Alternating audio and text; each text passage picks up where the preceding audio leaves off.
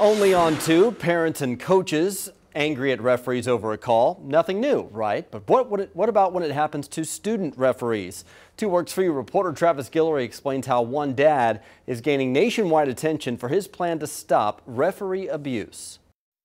And again, that's what sports is all about. Soccer referee Brian Barlow and his family were in Norman over the weekend for soccer tournaments. His 12 year old daughter Zoe learning the ropes of becoming a ref herself but she learned firsthand how officials are treated. From what I understand, uh, the parents lost control, uh, the, the coaches lost control, and there were verbal insults made to kids that are 12, 23, and 15 years old. One of those kids was Zoe. We made a call that um, was questionable, but it was a good call, and we did a great job on it, but parents didn't like it, and they thought that it was the wrong call. So the name calling and berating started. You guys suck. I could do a better job than you. Um, hopefully, you guys don't ever have to ref again. The game was actually terminated because parents refused to cooperate. What was really troublesome is knowing that there we have kids that are trying to learn the skill of being a referee, and yet they're in the middle of a cesspool of verbal insults by adults.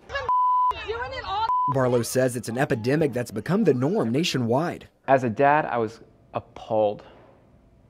As a referee, it's become the standard. So that's why this dad and ref wants to change that standard with a new initiative called STOP, which stands for Stop Tormenting Officials Permanently. It basically holds the people accountable. The moment that they step onto the club or the complex, they now know that there are all kinds of signs out there, there are field marshals out there, there are systems in place that if referee abuse starts to happen, it's immediately resolved. And part of the initiative protects young refs like Zoe, who may have a hard time controlling angry parents and coaches. So that's just one of the systems in place to help retain youth referees and then also to help coaches understand, hey, maybe I've just I've done enough. I have to realize these are kids. We're coaching kids. It is a game. We're supposed to be in it for the spirit and the development of the game. Barlow's Stop initiative is in the works for hundreds of soccer clubs and organizations around the nation.